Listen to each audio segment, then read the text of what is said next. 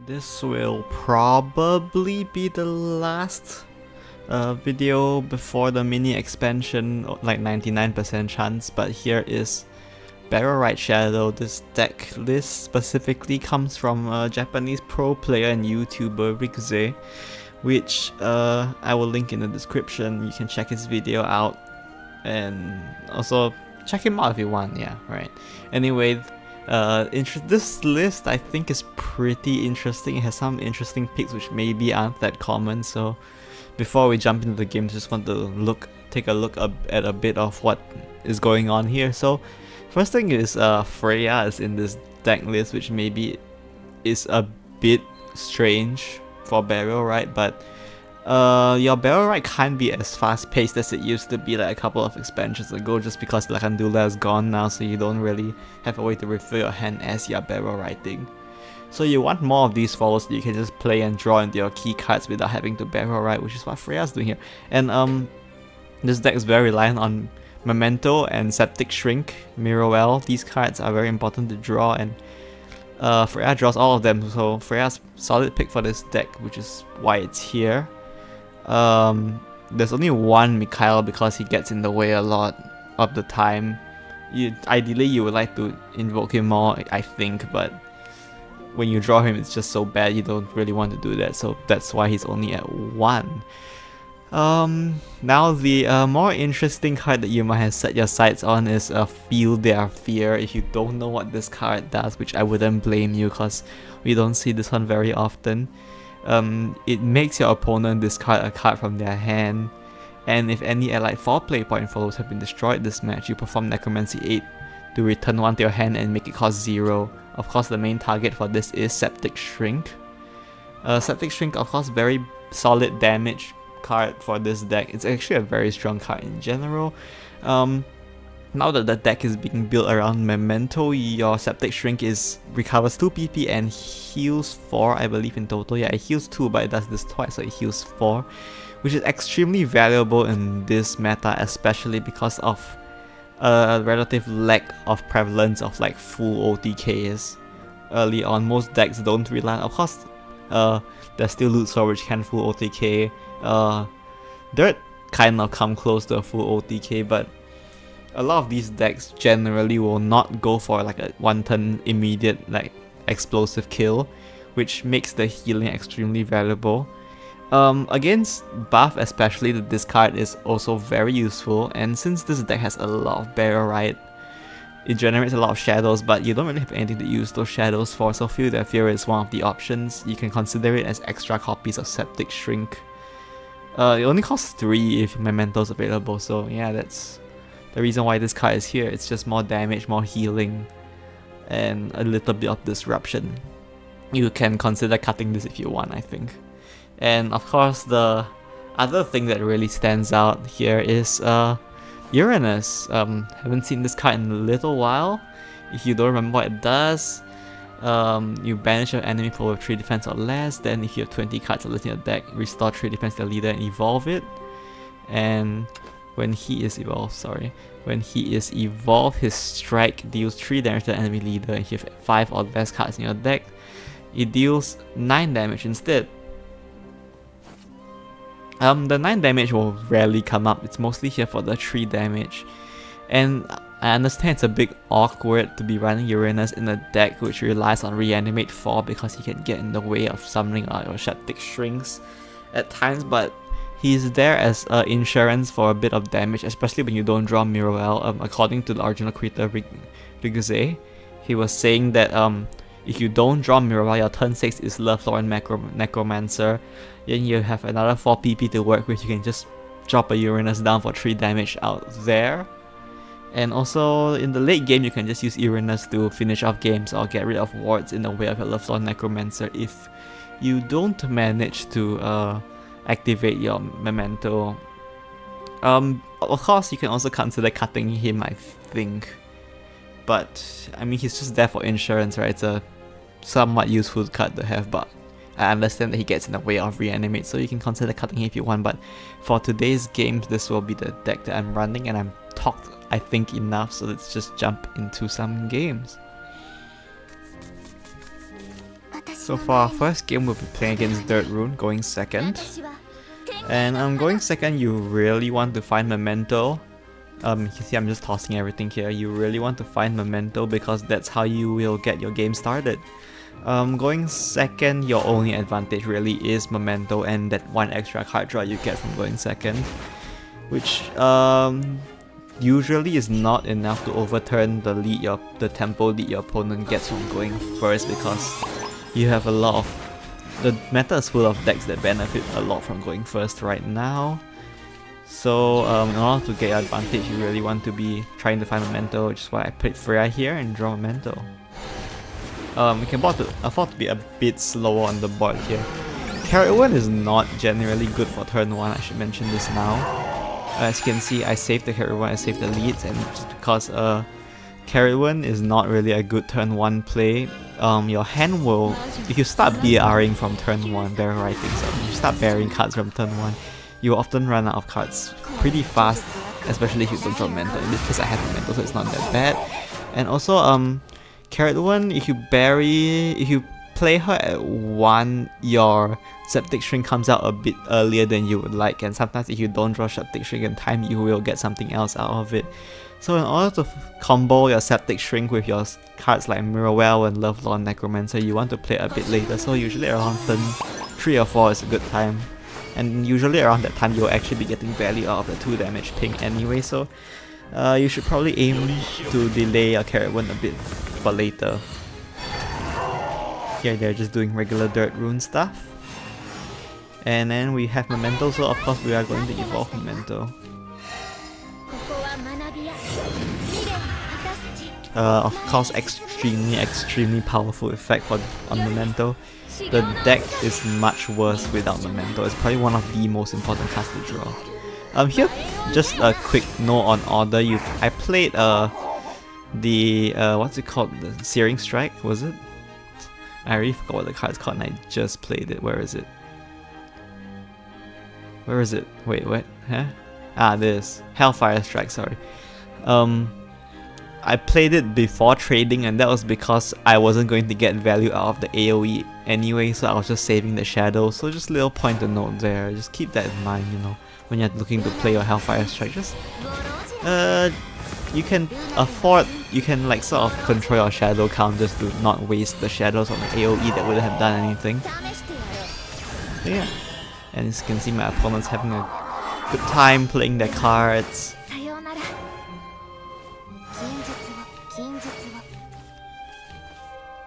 Um, I need to, here I'm just looking for more cards, right? I haven't found Memento, I, I mean not Memento, Mirrorwell yet. So I can just bury more and then because of what I've drawn here, which is Carrot and Spectral Stomp, I can actually make it all the way to 5 Burial Rites this turn. Which will let me start activating my synergy, so um, of course uh, evolving uh, Misguided Maiden here is worth more damage than evolving Asuka and Shiori, so that's what we do. And now we have a bunch of Carrot 1 amulets set up for Lovelorn Necromancer. You can see um, Carrot 1 is at 6, Carrot 1 is at 6, so when I play Mirrorwell, it will go down to 3, and then Lovelorn Necromancer will finish this off on turn 7, which is the goal. And this turn uh, is a bit of an important talking point I think, so I'm gonna take a moment here. Um, of course, the easy move that you straight away think of will be uh, you trade Mikael and then just play Mirrorwell and evolve Mirrorwell to uh, do Mirrorwell things. And we all know this, this is the standard uh, Burial Rite play. And in this, uh, spoiler alert, in this case, I would consider it the correct play. But uh, because there's a lot of burst damage that can come out from Dirt Rune once they get their Undying Witch active, it's important to consider whether you should prioritize healing with say Septic Shrink instead. It's not always the correct play to just go straight for lethals here. I mean go straight for Mirrorwell here, you need to uh, actually think and see if you can afford to play Mirrorwell. In this case, um, it, at 7 PP with Undying Witch active, the most damage that that puts out is Levi, Levi Evil, Crimson Sword, Your Face, and then Colossal Summoning, which is, I believe, 16 damage which as you can see I'm at 17 now so I will survive that which is why I can't afford to play Miravel here. So that's what I do but worth considering of course you should be uh, know your opponent's deck, know how much damage they can output and make sure you don't play into uh, their lethal by just rushing on Miravel like this. In this case it was fine of course. Oh, luckily get Miravel here go start hitting their faces. Is the uh, quintessential uh, dirt, uh, sorry, not dirt, burial rite gameplay right now. Did, interestingly, they didn't play the Celestial uh, command convergence here, which I feel like might have actually saved them. So probably a misplay from them here. But they went for uh, the what's this thing? The the the, the cake diabetes golem. So we'll just clear that with a uh, Necromancer. And then important note about uh, Lovelorn Necromancer, of course, sometimes you may, may not see a lethal in your hand of Lovelorn Necromancer, but I mean, it draws 4 cards, you can generally expect it to draw you a lethal at some point. And then here I'm just playing through Death here for style points, of course I could just play Septic Shrink to begin with. But you know, just gotta show off the card and that will be lethal. So that is it for this game. Let's go on to the next one. So for our next game, we are going second again against uh, Loot Sword. Uh, the fan favorite, uh, not fan favorite, the favorite deck of this channel, of course. We all know this, my favorite deck. Well, maybe not, but my one of my favorite cards. Anyway, uh, as you can see that hand there was extremely strong here. This is very powerful turn to play. We have a ton of key cards with Carrot Wind and Septic Shrink already in hand. Which is why I kept it. And uh, of course you don't play Carrot Wind on turn 1. Like rarely ever is it worth it. Just because you want to activate Spectral Stomp here, right? Um, I would not recommend keeping Spectral Stomp in Mulligan unless you have another cheap burial rite to go along with it. And if you have been paying attention to the game so far, you may have realized that it's what turn 2 and we've drawn 3 of our 4 invokes, so the game is going very well for us already. So um, uh, Soul Necromancer just a bit of healing here, and also to get Spectral Storm active, but I drew Carrot Wind here, which um, is more useful to get rid of their board, which is why I prioritize Carrot Wind here over Spectral Storm, and hopefully Spectral Storm will have a chance to play be played later. And then they trade for us here, which is good. Here comes the Tony. And here comes Tony number 2. So a very weak turn from them, but we don't have Memento, so our turn's not looking much better either. Uh, still no Memento, so we're just gonna use my Misguided Maiden here. Even though I like, um, sorry, just to pause and mention real quick, I don't necessarily recommend just immediately bearing Septic Shrink every time you have her in your hand especially going second against against uh, Loot Sword or cards decks like this you want, you might want to keep her for the healing effect that she has on her BR. But in this case, uh, probably keeping leads is more useful, so I buried all my Septic Shrinks here. And then uh, I am at 5 burial rite, so the Shrink can start doing damage, which is good for me. And there's Rogers on curve, as expected could not have gone any other way really. I mean, they did play two Tonys, kind of expected. And here comes the Scout as well, so they're gonna draw through a lot of their deck. This, they're just healing up, doing damage to my face, but luckily we don't have, we have like a non-inconsequential amount of healing, so it's pretty okay for us. And there's a Septic coming out of Carrot Wind. Uh, and of course we start healing here because we don't want to die.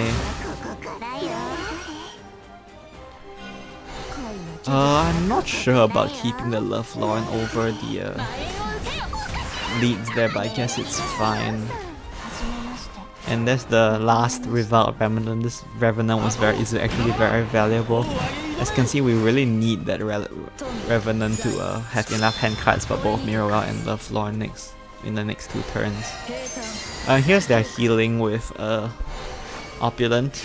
A lot of healing of course. I believe you can heal the fool with that. It's a bit nasty. Oh, they didn't. They didn't play the other goblet, did they? Ah, whatever. Anyway, they're at 18 now.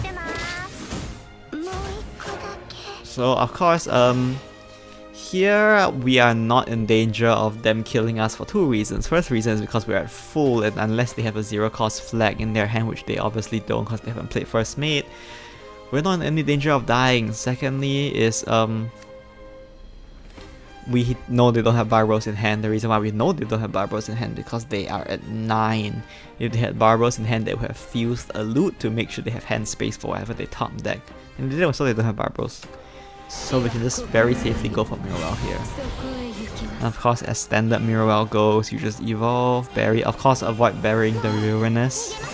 We do not want to reanimate that. And here comes the Spectral Shrink and the septic shrink, so um, put a lot of damage to our face. Hopefully this will let us finish next time we have our evil point. We have Lovelorn Necromancer. It should be pretty good as long as we actually draw a follower next turn, which hopefully we do.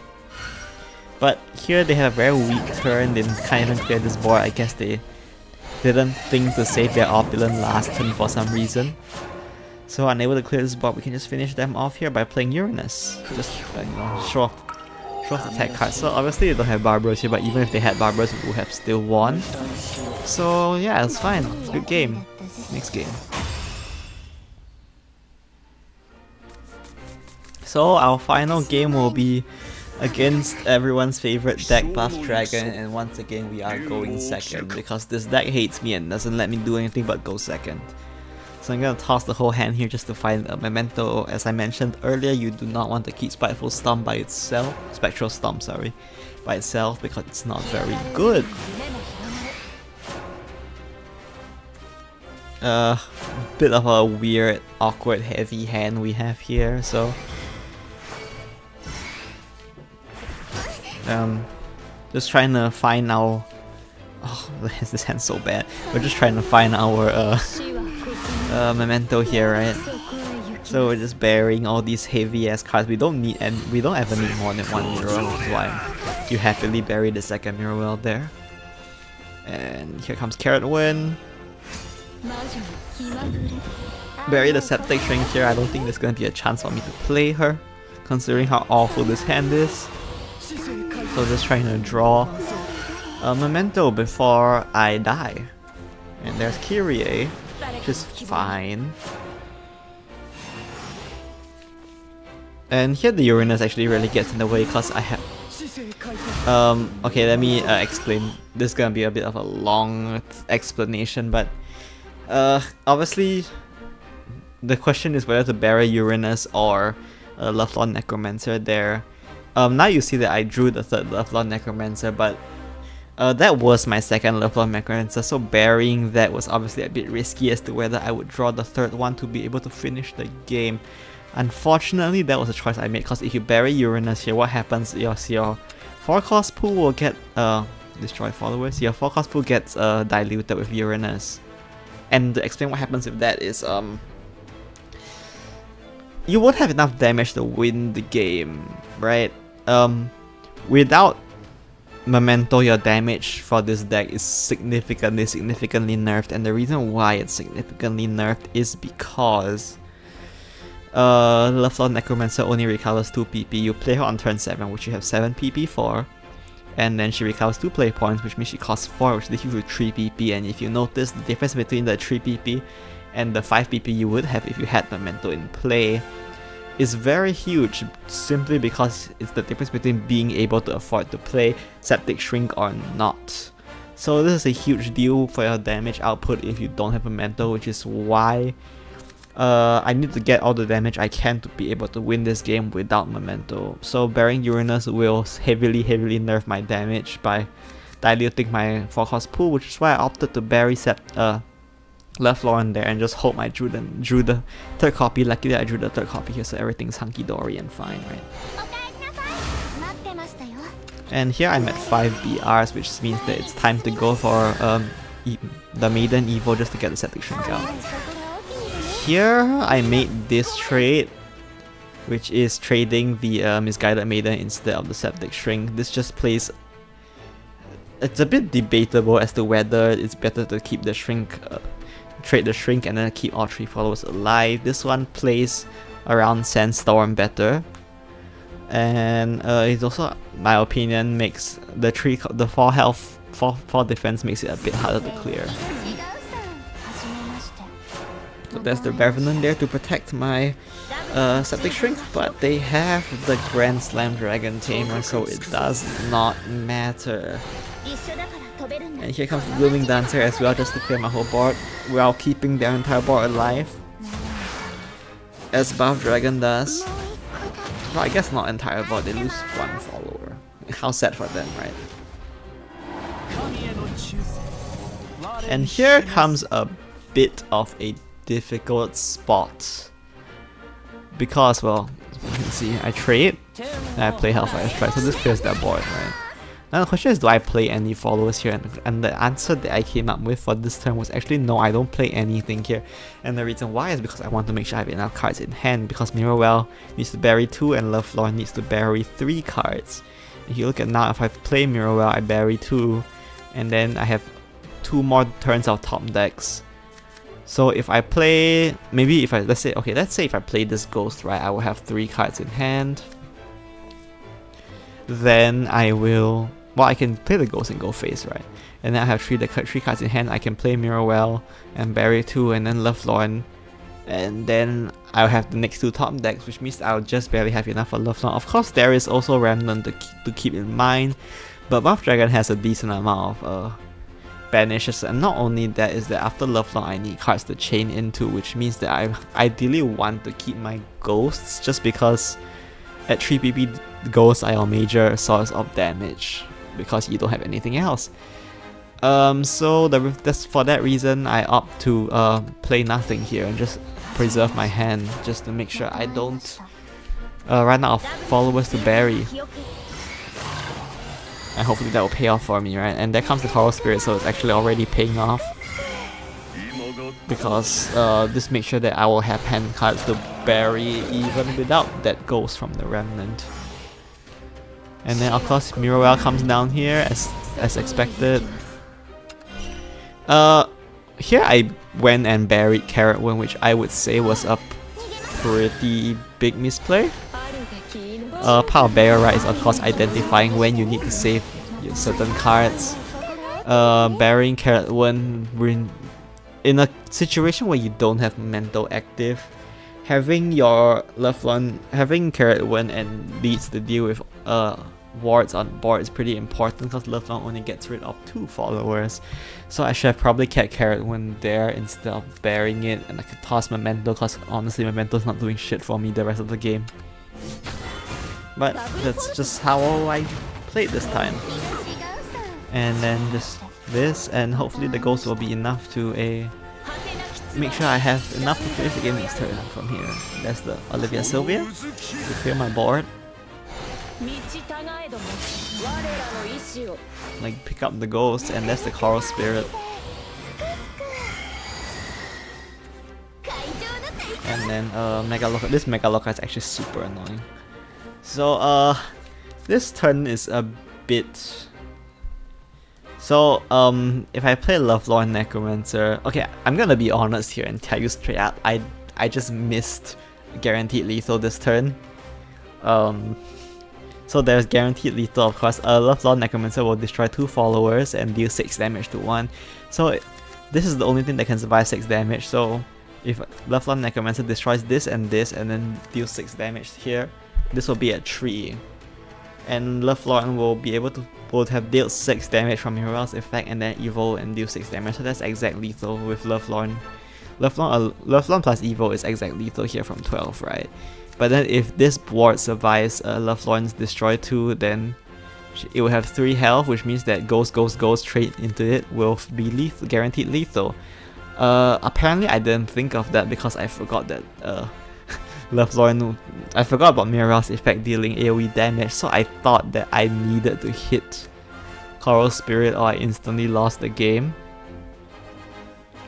So uh, for some reason I didn't just bury the three things that aren't ghosts here, I actually buried one of the ghosts which almost made me miss lethal. But luckily for me, oh, it's a 1 in 3 chance to begin with, but luckily I got rid of the uh, Coral Spirit, so there is lethal for me. So uh, just keep in mind, pay attention and don't be dumb like me, and yeah, that's it for this game. So I managed to uh, achieve a nice array of the three me meta decks uh, for this video, which was lucky for me. I hope you got to see uh, how Burial Rite plays against those three decks. Uh, weirdly, I went second for all the games, which pretty unlucky, but oh well, it's whatever, right? Anyway, I hope you have an idea of how to play BR now. A bit awkward once again that it's like the end of the mini, so I don't know if it's worth to go out of your way to craft this deck.